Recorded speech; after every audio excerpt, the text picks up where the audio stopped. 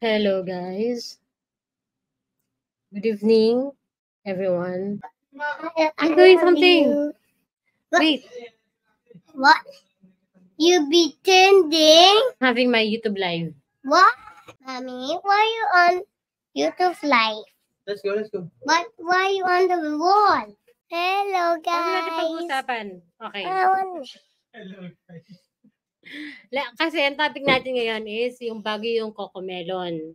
Okay, let's talk about the Cocomelon, di ba? Remember, we have new Cocomelon, the Cocomelon Lane. Yung, yes, yes. I forgot the lyrics. Gabe, what can you say about the new Cocomelon? Ma- Malamang lamang na It's yung new. Cocomelon. I want to draw. I want to draw there. Wait, wait, wait. I I will want show you them. to fly to draw. I will show them the new Cocomelon, okay? This is the new Cocomelon. There you Oh. go. Wait, wait, wait, wait.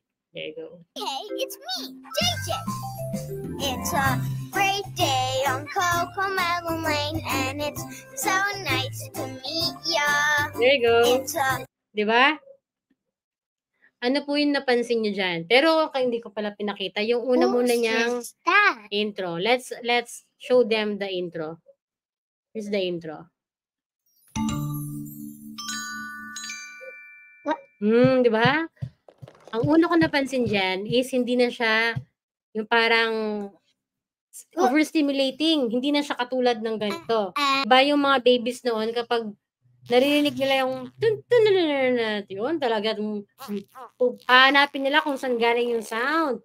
But this, again ha, patugtog natin yun. Tingnan mo. Galing yan. O, di ba? Ganyan na lang siya. Tinitihan na lang. it's me, JJ. Stop na, baka ma, ano tayo. I want to watch. iniba nila kasi siguro dahil nagkaroon ng bad review yung Cocomelon. Di ba meron akong review nun ah, tungkol sa Cocomelon na marami talagang epekto yung Cocomelon, lalong-lalo na sa development ni baby.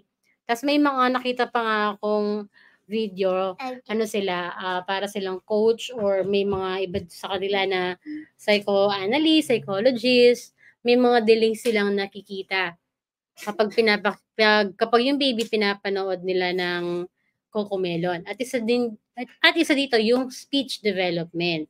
And of course yung cognitive like that yung brain development. Pero ngayon, ito napansin ko na dahil na pinapanood ng, ng mga babies ko itong Cocomelon. Ito kasing batang to, 4 years old na, Ouchie. okay lang siyang manood ng TV. Sumasabay din yung ano, yung 18 months ko. 18 months na siya, so pwede na siya ng screen time. And I allowed them to watch uh, cartoons such as Cocomelon. Yun nga na rin, nakita ko na pinapanood nila to. Sabi ko ba, iba na yung ano niya, iba na yung kanyang animation, iba na rin yung kanyang parang theme, hindi na kanta lang. So, takil natin yung mga napansin ko. Yung una ko napansin is number one, Hey. number one, yung color niya, hindi na siya bright. No, tingnan natin yung next, yung iba niya mga ano. Pero yun na lang natin. Ayan. You don't like Hindi na siya sobrang bright. 'Di ba? Oh, ba yan? Tata, Hmm. Para siyang pastel yung color. Unlike sa previous sa Cocomelon, ganito yung kulay niya. Hmm. Tingnan natin to. ha? Yeah, I have to show them. I want the game. Next, uh, next yung aking napansin is yung JJ, nagsasalita na siya. yes, tignan niyo siya ha. Uh-huh. I want to get on the train, but the train is really big. And it's louder than a dinosaur. Ooh, looks like you're feeling scared. Yes. Train station now. Chugga chug along with us. About to do something. O, di ba? Hindi na siya parang baby. I want to watch Wait, I'm talking to my viewers. Hindi na siya parang baby kasi nagtat- nagsasalita na si JJ para siyang ano na 5 years old before ang baby ay ang si JJ dito para siyang infant lang. Pero ngayon, dada, baby na siya, na tod- toddler na siya, I mean. Kaya natutuwa ako kasi dapat ang nanonood talaga dito is more than 2 years old. So, parang inayon nila yung character nung Coco Melon sa dapat manood sa mga viewers.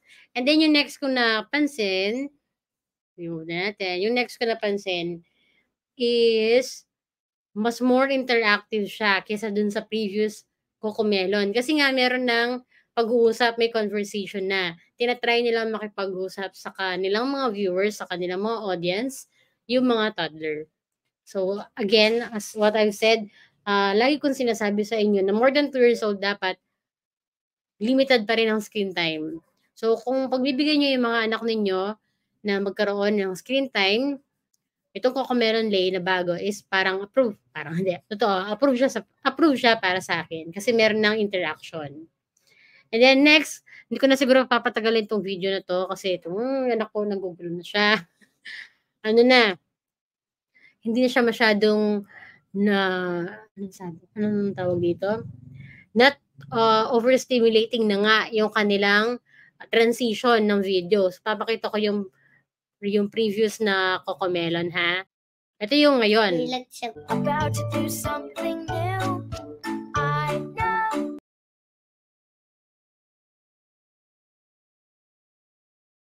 Oh, ito yung before. Yung Cocomelon! Kasi diba, yung pag mabilis yung transition, parang nakaka-shorten ng attention span. Every So, minute ko, bilangin natin yung mga frame. Ito na, 2 na to.